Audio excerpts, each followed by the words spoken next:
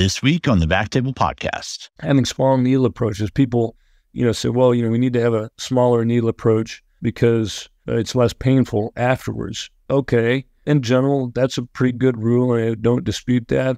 But this is bone augmentation. Show me in bone augmentation where that applies. There's no evidence for that. Show me in bone augmentation where that does not apply. Okay. The SAKOS trial. You have uh, 11 gauge needle with bone kyphoplasty compared with 4, 6, and 8 gauge devices for the spine jack. And in the SAKOS trial, in the short term, one month and six months, you had statistically significantly increased amount of pain relief. Same thing as saying decreased pain, significantly decreased pain in patients that had the larger gauge needle than those that had the smaller gauge approach. So there's more to bone pain, there's more to fracture pain, there's more than just the what you use to do the invasion. It maybe has something to do with adequacy treatment.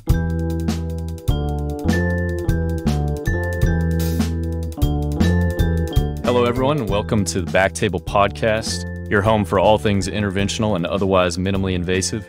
You can find all previous episodes of our podcasts on Apple Podcasts, Spotify, and all other major podcast platforms. First, a brief message from our sponsor. Stryker's interventional spine business offers the control you need, the flexibility you want, and the quality your patients deserve. Stryker is your partner in making healthcare better. From technology to training, from reimbursement tools to patient education, Stryker is there to support you every step of the way. Innovation is the driving force at Stryker.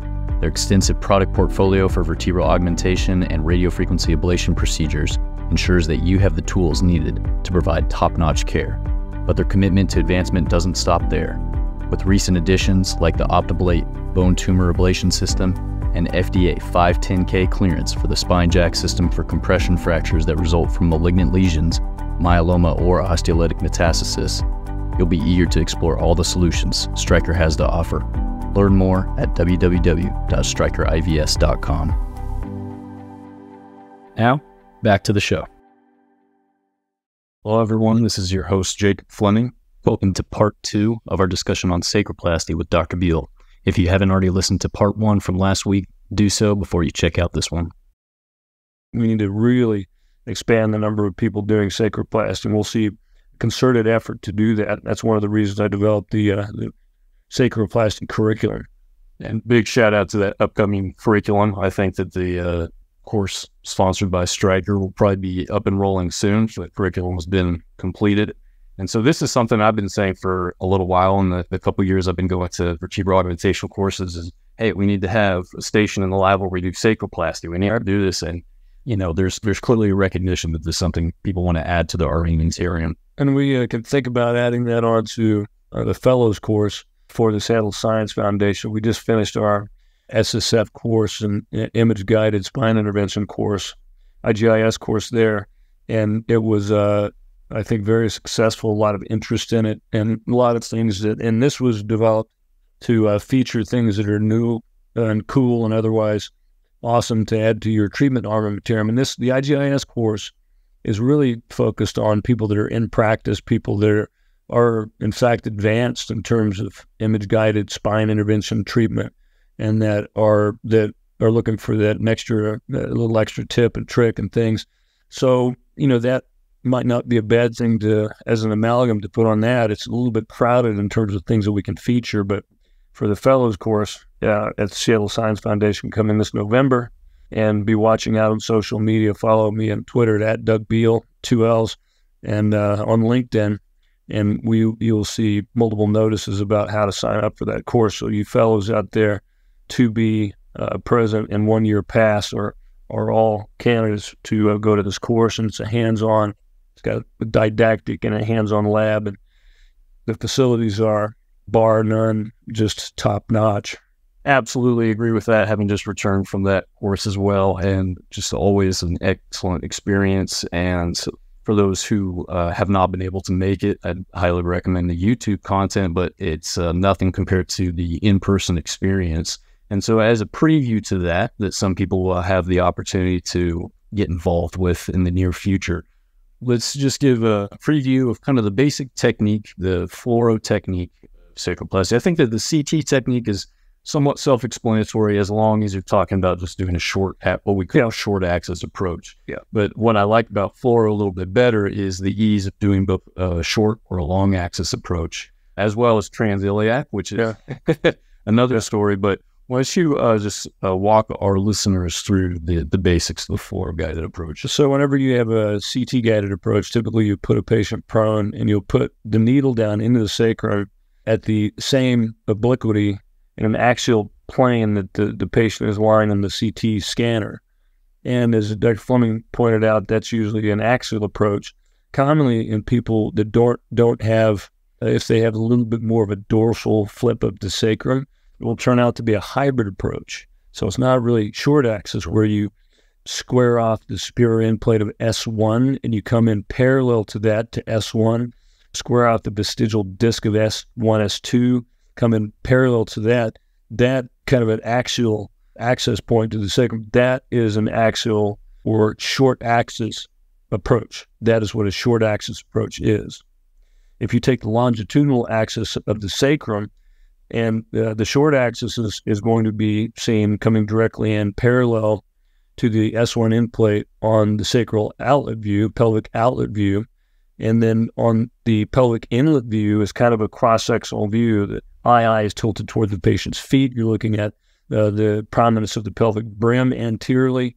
And you can either start a long axis view just medial to the posterior portion of the joint, just one centimeter in dorsal, from the pelvic brim, or you can start it on the pelvic outlet view where this, the sacrum is nicely laid out to you. You can see the S1, S2, S3 neural foramina. You can see the greater sciatic notch. And you can either do it AP or you can do it um, contralateral oblique, where you tilt your II along the axis of the SI joint with the starting point just above the level of the greater sciatic notch between the sacral foramina and the, and the SI joint and then tap tap and you look on the lateral view and you put it up to the mid body of the sacral ala.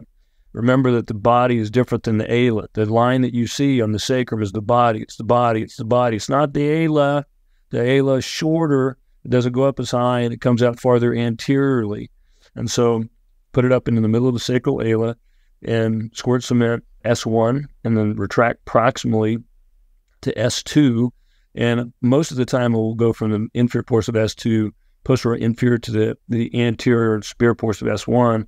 Oftentimes, of course, especially if you use the pelvic inlet te- technique to start, you'll get a portion of S3 as well.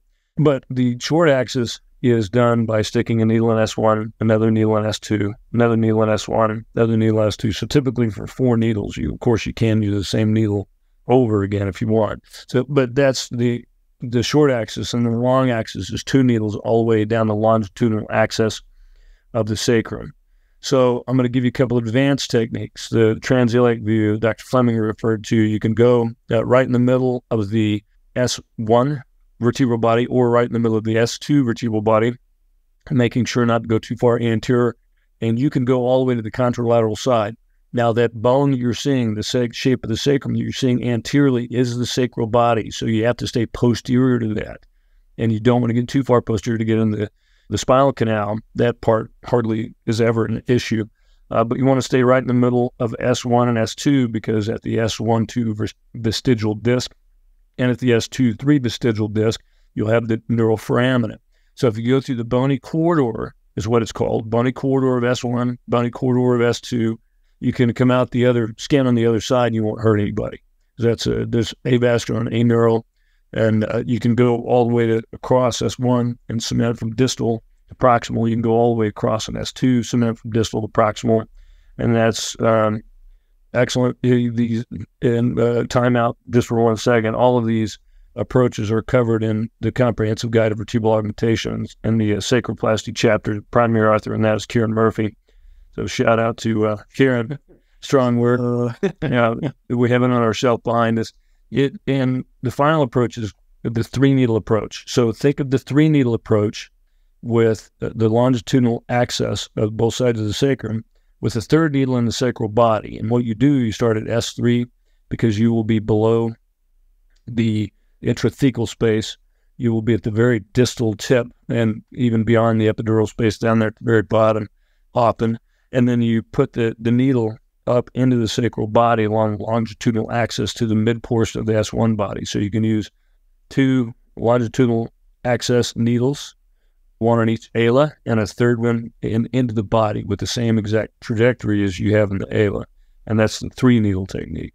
And so there's, and then of course the hybrid technique is you just do it between the obliquity, the, the needle angulation that's between the um, axial and the longitudinal axis. So the short axis and the long axis, somewhere in between there, and that whole arc closer to short, closer to long, that whole intermediate is going to be just a, a hybrid approach. And that's fine. That that approach works uh, really well most of the time. That being said, one of the uh, most common deficiencies I see in the treatment uh, has to do with getting in the required amount of cement. And this is something that we beat the drum on a lot in terms of vertebral fractures, and it's kind of even more of a concern with sacral fracture. So uh, let's let's say that a typical sacroplasty injection might be, uh, let's say, four cc's. Is that going to get the job done? Oh, it just makes me cringe to think about how little cement goes into the sacrum. And so I've heard people's rationale in a vertebral body or a sacrum. Well, I just put a little bit in it and it works and it's great. The patient's pain goes away. Okay, yeah, but does it stay away? And how much of it goes away? And is it durable? So there's there's whole the whole one of the purposes of a publication of the Swiss registry was you need to put more cement in the vertebral body because the only modifiable thing that you could do to get better and more durable pain relief was to put more cement in. That's the only modifiable thing. The other ones, what's more painful, lumbar, thoracic, or thoracolumbar junction fracture, or mid thoracic? So transitional segments, thoracolumbar junction fractures are more painful than lumbar fractures. And they're, the only other statistical significance was um, who complained more of pain, men or women? The answer is men. Why? Because they're sissies. You know, it is, this is what the data says, not like that they were sissies, but they did, women did complain less of pain than, than did men. But the only modifiable thing that you could do to uh, increase the magnitude and duration of pain relief was put more cement in. And so yeah, it's it's not okay. And, and yeah, there's data by Molloy, uh, Nieuwenhuis, Martinčič, lots of data that said you need at least 15 to 25% of the non-compressed native volume to make sure you have an adequate intra-body strut. This applies to the sacrum as well. So you need to have an intra-alar strut that will transmit force, not necessarily the body, because most of the time, whenever you have an H-shaped fracture of the sacrum, the horizontal bar of the H is through the mid-body of S2. Most of the time, you do not need to fix that. You do not, and the vast majority of time, vast majority, you do not need to fix that because fixing the ala, but you have to have an intra-alar strut that transmits force. And if you don't have enough cement in there, you will not be able to accomplish that. And so for you manufacturers, here's a, listening. So the Strykers, the Merit, the Medtronic, the IZI, uh, and anybody that makes cement, you have to have around 20 cc's of cement per batch. Anything less is not enough. So we are commonly putting our average amount of cement that we put in. And so the average amount of cement in the literature that's necessary is at least six cc's per fraction or you know 12 frac uh, cc's at least total. The amount of cement that people are commonly putting in there are closer to 13 cc's. So it's even more than that. Our average is, is 18 to 20 cc's. That's how much uh, we use uh, the IZI cement, Vertifix HV cement, and it, that mixes up 18 to 20 cc's per batch consistently. And we use that. How commonly do you, you think we use all of our cement? Dr. Fleming, out of all the cases, just all comers, so sacral and otherwise. All comers, I would say we use it all up, maybe maybe a quarter of the time, probably less. And with sacroplasty, it's hundred percent, hundred percent of the time. So the bottom line is, you know, you're going to be using a lot of cement. We use our average is nine percent per side, at least nine to ten percent cc's per side. So you know, I I really I think traditionally the, people have mixed up 10 or 11, maybe 12 cc's of cement, and uh, the manufacturers doing call it good. That's just not enough cement. It's just not enough cement for people to accomplish the volumes that we now know based on the data that I mentioned. We now know based on the sacroplasty data that is con- con- has continued to creep up in the amount of cement that's added over time, keeping in mind that this has only been done really uh, since the early 2000s in, in any way, shape, or form, any significant degree. The, it's creeping up because people know that you need more cement to get a good uh, magnitude and duration of relief. And so we, we need to be having greater amount of cement. We need to have the manufacturers include more. I mean, this is polymethyl methacrylate. This stuff has been used since the 50s. I mean, it's, it's not that expensive. And, you know, it's, it's, it's a powder polymer, a liquid monomer made out of stuff like, you know, toluidine and benzoyl peroxide. I mean, this is, you know, this is stuff that is not expensive and we need to have more of the cement. And that's primarily one of the reasons I use the cement we use now is because it's got indicator beads. You can see the flow, which has added a whole new dimension to my perception of cement deposition in the bone. And it's about 350, 400 Pascal seconds right out of the box. So it's, it's actually, it's, it's not really that high viscosity. It's kind of a medium, medium to high viscosity. And I like it because it, it interdigitates into the interstices of the bone pretty well. And if you have something like it's a thousand Pascal seconds, like like the old confidence cement, it kind of gloops together and doesn't really go in all the directions that you want. It just is my opinion. So I'd, I'd like a medium to high viscosity, and that's what this is. We mix 18 to 20 cc's out of the box. That's uh, that's good good stuff. And then we, you need to add, you need in your mind's eye, if your civil engineering of the sacrum doesn't include an uh, intra-alar strut and the ability to transmit force, especially if you have fractured pubic rami, then you're not done. And if you do have fractured pubic rami, which is really common, I mean, what are you going to do about that? I mean, are you going to fix those too? Well, the original description of a superior pubic ramoplasty was done previously. We we've described that in the, back in 2007. So you, you, can do that. It's an unlisted pelvic code, means you, you won't get paid for it, but you do that certainly uh, with informed consent of the patient and with in conjunction with a sacroplasty, uh, just to try to get the pelvis to uh, to heal. And this is typically seen in somebody with a very poor bone quality, and who gets poor bone quality, people that are deconditioned, who gets fractures, same type of person, and it increases your need to adequately get them back on their feet because these people don't have long to go before they go down, and just don't don't let that happen in your watch. Yeah, can't agree more with that. And uh, referring to the ramoplasty technique, you know, one of the places we've used that is uh, in a patient where she did have pubic rami fractures as well as sacral fractures. We went ahead and just uh, fixed her sacral fractures.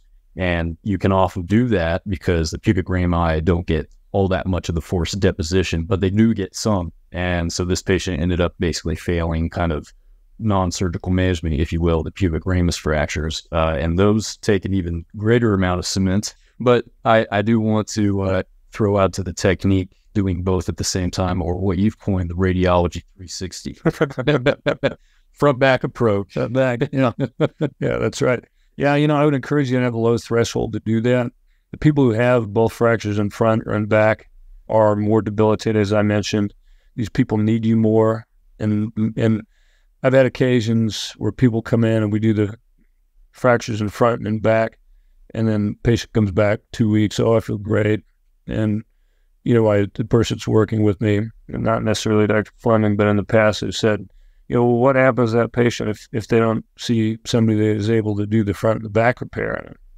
I guess the answer is they just they don't get any better, and they don't, especially if you if you don't do either the sacroplasty or the superior ramoplasty. I mean, it's just the luck of the draw a little bit in terms of who they see, who they get referred to. But just do your best that you can try to stabilize what they need to. This really is a mechanical stabilization of the the bones that are unstable. And if you can just keep that in mind, that this really is the civil engineering of the sacrum, pelvis, and spine. This is just to make something that's adequately resistant to force, that is durable, that will last. This is this is our goal. This is and in regard to a little bit of resistance of shear force, I've heard some misinformation been said on that news source called YouTube that Dr. Fleming called to my attention. Injecting cement into the sacrum works consistently well or better than almost anything that's done. Not that you do or that's done in toto. So, yes, cement doesn't have a great resistance to shear force. Yes, there's shear forces that go through the sacral, sacral ala. That does not mean, ergo, it doesn't work for sacral insufficiency fractures. Of course it works. It works consistently. I gave you the pre and post pain scores previously on you know level three article on prospective single center trial that Kortman reported. A large U.S. registry about ready to be larger, and Chandra's meta-analysis. All of these are consistent. I mean, almost to the T. The the worst one-year follow-up pain score was a 1.9. The rest of them were essentially 0.9s, under one. So absolutely it works. And if you have enough cement in there, it does provide enough resistance. So it is a it is a combination of compression and shear. It's not just solely shear.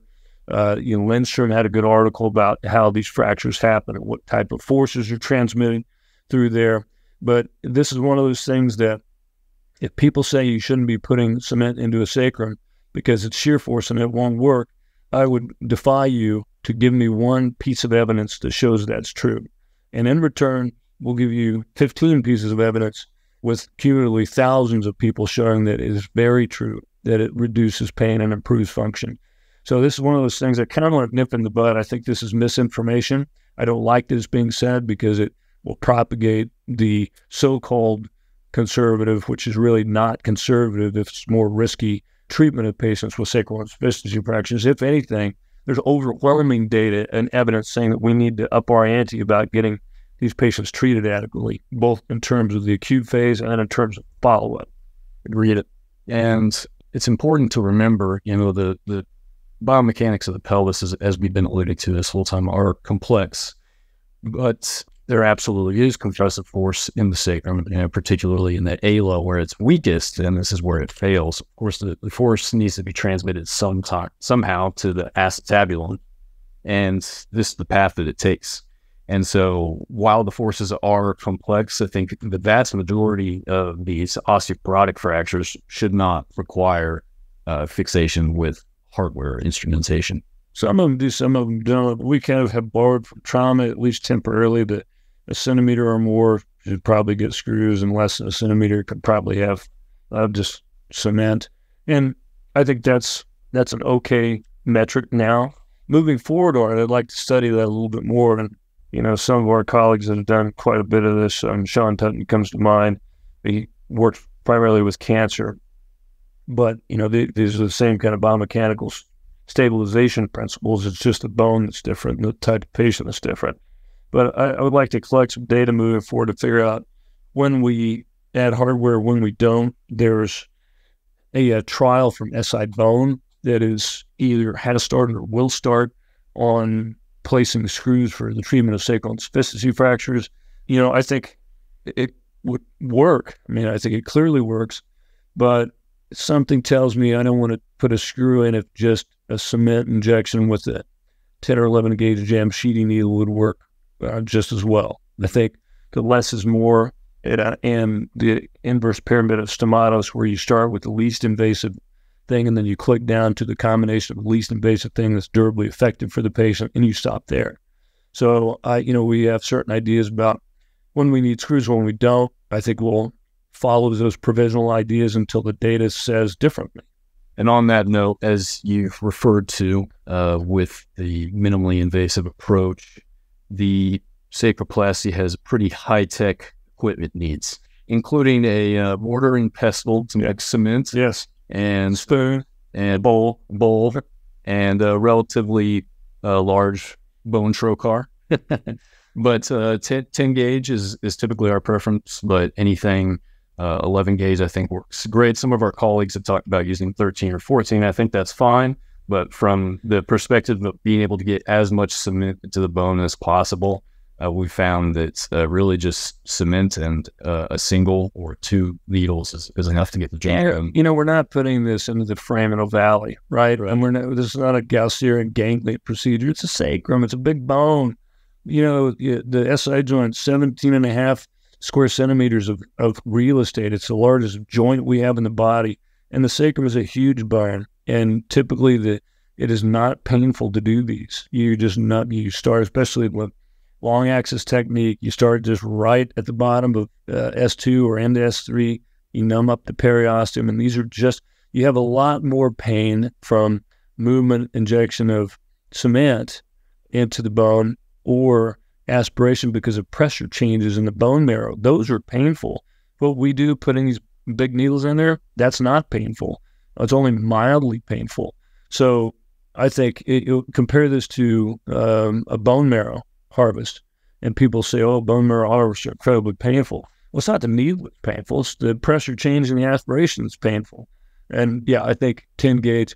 And remember that anytime you go down needle gauge, you go down and flow, and you the flow will be, you know, it'll be more cumbersome through a smaller needle, and, and you won't have the ability to inject more viscous cement and have greater cement control. So, boy, in the sacrum especially, give me that 10 gauge or 8 gauge every time. Don't don't get caught up with having small needle approaches. People, you know, say, well, you know, we need to have a smaller needle approach because uh, it's less painful afterwards. Okay, you know, in general, that's a pretty good rule, I don't dispute that. But this is bone augmentation. Show me in bone augmentation where that applies. There's no evidence for that. Show me in bone augmentation where that does not apply. Okay, the SAKOS trial. You have uh, 11 gauge needle with bone kyphoplasty compared with four, six, and eight gauge uh, devices for the spine jack. And in the SAKOS trial, it, in the short term, one month and six months, you have statistically significantly increased amount of pain relief. Same thing as saying decreased pain, significantly decreased pain uh, in patients that had the larger gauge needle than those that had the smaller gauge approach. So there's more to bone pain. There's more to fracture pain. There's more than just the what you use to do the invasion. It maybe has something to, do with adequacy of treatment. So I would say focus for this. Good rule of thumb is to focus on adequacy of treatment. Don't focus on being elegant and having less invasive tools to the point where you sacrifice accomplishing one of the primary goals is durable amount of mechanical support for that bone. On the note of the equipment used, you referred to earlier that uh, some people have used a balloon. Your thoughts on the uh, necessity of that and how that affects kind of the whole consideration, which is important, very important from, frankly, a billing perspective of sacral vertebroplasty versus sacral kyphoplasty you know, I'd love to be able to use a mechanical creation device. We don't because of billing and reimbursement. And would we because if we didn't have the billing and reimbursement constraints? Yes, I could tell you I would, and I, I would use uh, as much of a mechanical device as it took. So, what do you? How do you fix fractures that have a little gap? How do you fix fractures that through the fracture through S two and are becoming kyphotic, that have the kyphosis? why wouldn't you put something in there to create a path of least resistance for the cement to be able to direct it, especially when you had fractures going through the anterior portion of the sacral ala and into the foramina?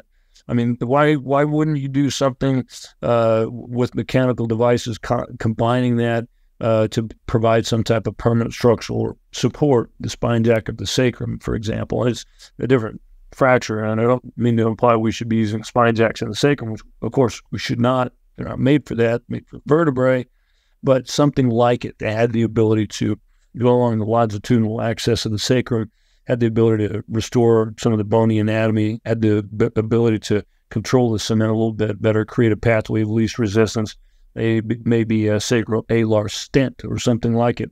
I mean, these are these are things that we need to consider. And the the comment about industry, there's no industry that's paid for sacroplasty research, so we don't have any level one sacroplasty research. And where'd the SAKOS trial come from? Where'd the free trial come from? Where'd the cafe trial come from? So Opus One, I mean, you go on and on. So these were all industry funded, industry sponsored, and basically, and and for those critics of for industry sponsored trials out there, if industry sponsored trials are biased, if that's your opinion, so number one, I don't think they're biased at all because you'd, you'd have to tell me what point along the course are they biased? Are they biased in terms of the sites that are involved, the data that's collected, the type of data that's collected, the inclusion exclusion criteria? Are they biased in, in terms of who does the CRO, the data collection? Are they biased in terms of how the data is processed? keeping in mind we have to have transparency in both data collection and data processing throughout the whole of our research trial.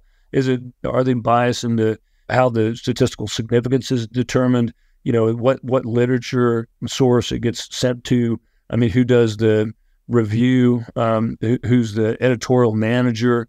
I mean, what the, what the review says, the response of us to the review. I mean, there's so many points along this time, and in in the industry sponsored trials that I have been a part of, and there have been you know dozens of these things. I have not seen one example of bias. I have not been pressured one time to do a certain thing a certain way because of some perceived bias and advantage that that would be have that that would potentially have. Not once. And so, for those of you that say that there's a bias toward industry, you know, I categorically disagree. I see absolutely no evidence of it. And if you have evidence, I'd like for you to call that out for discussion topic so we can discuss it. And if all of these randomized control trials for the literature are industry sponsored and are biased, why are they less, they get the, the results less optimal than the vertebral augmentation registry and the sacroplasty registry that was studied, that was uh, sponsored by the SIR Foundation, a society, right? So I just, you know, I don't, uh, it's one of those things that, uh, in fact, we, we embrace literature in uh, trials that are sponsored by industry.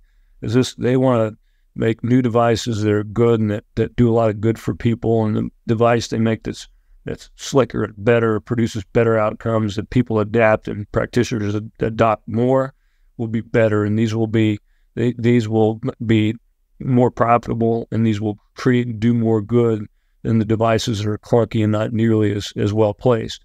So I think this is we need to be working on uh, a, a, similar team, not the same team, but we need to be working in aggregate, and uh, we need to provide help. And there won't be uh, an industry-sponsored sacroplasty trial, I don't think. And consequently, we will be left with real-world data, which I think is is is good, especially since it's society-sponsored and we'll and then a category three trial. So I think uh, we'll, hopefully that will protect and preserve this procedure for as as long as we need it. And this is something that, you know it's I think in terms of data support is is a little bit tenuous. I think what will give it a, a lot more support and a, a lot better foundation is when we complete 250 patient registry, publish that, and at that point in time, I think we raise our glass to and give a big cheers to sacroplasty. Yeah. Sacroplasty. Theme song. Anytime, anytime we got to do sacroplasty, and it's it's appropriate because we love sacroplasty and we know the patients love it and they love the way they feel afterward. It's as you said, one of the very best things that we can do. And uh, but talking about moving to the next level with kinds of mechanical augmentation or even just routine uh, balloon augmentation. So this is kind of a odd sort of idiosyncratic situation in the American health system that we see, which uh, essentially mirrors uh, CMS, is that there's, as you said earlier, a T code for a uh, sac- uh, sacroplasty, which is sacrokyphoplasty, right. versus the uh, sacrovertebroplasty. And so, what, what's your advice to our colleagues as they're navigating this and a lot of them will be doing the first one in their hospital. And so their coder may have never seen this before. And certainly we have seen issues with this as well. And in order to make this a viable treatment, it has to be something that, that is paid for. Well, for vertebral vertebroplasty, it's either uh, cervical thoracic or lumbosacral. For kyphoplasty, it's either thoracic or lumbar. And so for the sacrum, a sacral kyphoplasty or vertebral augmentation with mechanical device is in most places a T code. So my advice to people out there doing sacroplasty is out of one of the seven MACs Medicare administrative contracting uh, regions throughout the United States, know what gets paid and what doesn't. If your T code for vertebral augmentation with mechanical device doesn't get paid for, don't use it. Use a sacral, lumbosacral vertebroplasty code. And if it does get paid the T code, use it because the uh, the T code stands for temporary, and this is done until there's enough data collected that the temporary code is allowed, done away with. And as I mentioned, we've included both kyphoplasty and uh, vertebroplasty of the sacrum in the registry. So hopefully this will provide a little supporting data. If necessary, we can even call it out to see the comparative results in the end. You know, we have not done that yet. and we won't do that until we're finished with the entire registry. But my guess is that it probably will be exactly the same. You know, if anything else, I mean, maybe you know, providing some of the pathway of least resistance and some of the mechanical um, devices to be able to reduce the fracture. And the sacrum breaks from top to bottom at the S2, and it breaks from side to side, and it kyphoses at, really at the body of S2. So, I mean, there are mechanical changes that happen. There are, are deformities that can happen with this. And uh, I think it, it probably would be about the same. I'd like to have some data for both. But just know in your area, and, you know, I, I, I use Medicare as an example you know, of course, commercial insurance, some of them will pay for this. Most of them will actually pay for this. But uh, most of these people, as I mentioned, will tend to be older. They'll be, you know, 10 years older than a typical person with a vertebral compression fracture. So, I mean, literally, you know, upper 90s percent for us and our practice of these will be will be Medicare patients. And it definitely underlies the importance of taking swift care of these patients who are really uh, often very fragile, uh, being older than our average uh, vertebral compression fracture patients, even. And um, we've seen that this is something that helps them get up and about, which is really the whole goal. You know, the the most satisfying cases of these are a very active uh, patient coming to you who's been totally debilitating and uh, debilitated, and them being able to walk out us not even have to uh, wheel them out in the wheelchair to the front, but we can just walk next to them. And it's one of the one of the be- very best things we do. And uh, to our colleagues, who I know many are uh, really interested in learning more about this and getting to the courses, keep your eyes and ears peeled because I think we'll have some announcements of new courses. As we said earlier, a Stryker teaching course and our future Seattle Science Foundation courses. Um, uh, these are really great organizations that we're happy to work with uh, as we try to get uh, people educated about how to just deploy this technique in their practice. And once you've done it, you'll say, "Why? Why haven't I been doing this?" Absolutely. A quick shout out to Emily Bonstein from Stryker who requested the uh, curriculum. Wayne Olin, who supported that, um, as he knows as well as I do that this is something that is very much needed. So hopefully we can start the sacroplasty courses. Uh, I incorporated that provisionally into the last course we did, but that was a little bit impromptu, and I did so because people asked for it, so it was irresistible to do. So uh, thank you guys, and hopefully we will see more of the sacroplasty courses uh, open up in the future. I'd sure like to propagate that as much as we can. Agreed, one hundred percent. Dr. Beall, that's all I have. Any closing thoughts for our listeners? Well, thank you for thinking of the sacroplasty topic. It isn't really sacroplasty, it's really osteoporotic insufficiency fractures. Two million of those per year. And out of that, the under recognition and under treatment of this is still absolutely unacceptable. And as bad as we emphasize it, as much as I grouse about this often, uh, you, you look back 20 years at least over the course of our treatment, you know, finally people are the most requested course is for sacroplasty. And having just recognized and started treating those in the last 20 years, I think that's uh, relatively quickly. And for that, I'm, you know, I, and I'm encouraged by the number of people that are starting to treat the underlying disorder. And this is a scourge. It's only going to increase with the age of the population and whether it's Asia, Europe, or the United States uh, the silver tsunami is coming and we have to do something, you know, just like I've told you a dozen times. If you don't like doing, taking care of old people procedurally, medically, and otherwise, you better start liking it because that's going to be the lion's share of people we take care of. And as you know, a lot of our practice is dedicated to uh, degenerative, is dedicated to problems that happen in the elderly. And having said that, one of the most, uh, probably the most rewarding patient population to take care of is exactly those patients. So I think the future is, is very bright, and it's our job to try to make it brighter. Thank you so much for listening. If you haven't already, make sure to subscribe, rate the podcast five stars, and share with a friend. If you have any questions or comments, direct message us at at underscore backtable on Instagram, Twitter, or LinkedIn. BackTable is produced and hosted by myself, Aaron Fritz, and co-hosts Chris Beck, Sabeen Dhand, Michael Barraza, and Ali Baheti. Our audio team is led by Kieran Gannon, with support from Josh McWhirter, Aaron Bowles, Josh Spencer. Design and digital marketing led by Brian Schmitz. Social media and PR by Ann Dang, Manisha Naganathanahali, and Manbir Singh Sandhu. Administrative support provided by Jamila Kennebrew. Intro and extra music is Ripperoo by Skeptic Moon. Find us on Spotify or at local live music venues in New Orleans, Louisiana. Thanks again for listening.